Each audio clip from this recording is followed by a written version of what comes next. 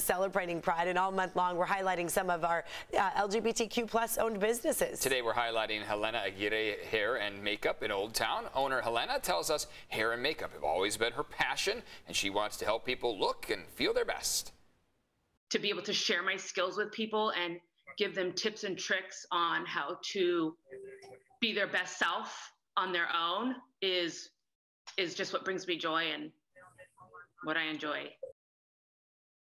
You can call Helena Aguirre Hair and Makeup to book an appointment. Helena's salon is located on Congress Street in Old Town.